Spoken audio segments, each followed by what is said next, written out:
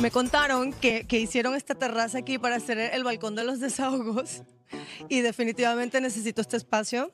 Una de las cosas que me molesta es que se la pasa en slow motion, está como en cámara lenta todo el día. Entonces está el bebé llorando, hay que cambiarle el pañal, entonces va así, en cámara lenta. Ya cuando llegó el bebé hizo el embarradero, el embarradero en la sala.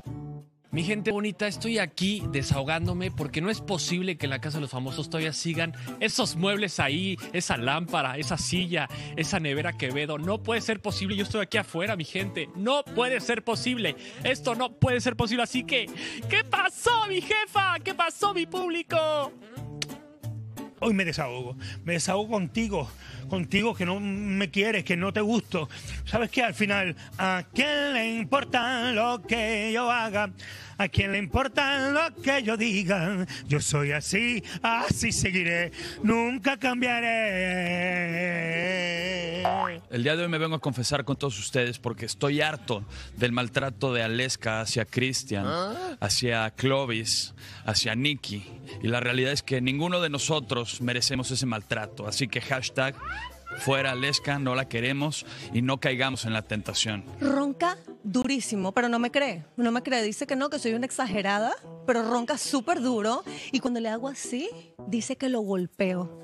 Que lo golpeo y se para ofendido en la noche, diciendo que. ¿No la- quedas aquí quién te dio acceso a este balcón? ya no me gusta este segmento. Este- No, pero- Corte, corte. No, pero ya va, que. Bueno, yo soy la mami Pili y hoy en mi desahogo estoy súper molesta. Estoy muy molesta porque por primera vez me dan el espacio para yo expresarme. Ya no aguanto que me critiquen la comida, que me critiquen mi sazón, porque yo traigo todo eso de Puerto Rico y estoy harta. Pero eso fue un plan. Eso fue un plan para destruir a todos en la casa y yo llegar a la final, para que les suba la presión. Claro que sí. Hola, mi nombre es Julián Guilormini y bueno, mi desahogo de hoy es que después de hacer tantas voces e imitar a tanta gente en la casa de los famosos, yo creo que ya a mí se me olvidó cómo hablar como yo.